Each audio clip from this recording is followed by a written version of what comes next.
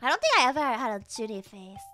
I think my puberty phase was just like I don't talk with I don't talk with ma uh Mama Chisaka. I just don't talk, and then I just stay quiet, which probably annoyed the heck out of Mama Chisaka. Were you rebellious? I was not. I had too much responsibilities to be rebellious.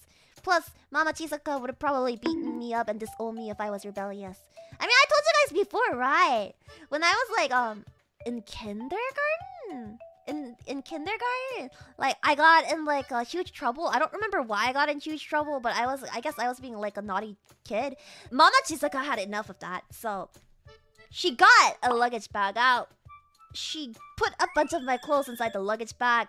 She carried forcefully carried me outside of the house stuffed me into the car along with the luggage bag drove me to the orphanage and then dropped me off at said orphanage and then drove away She's like, you are no longer my child anymore. Goodbye.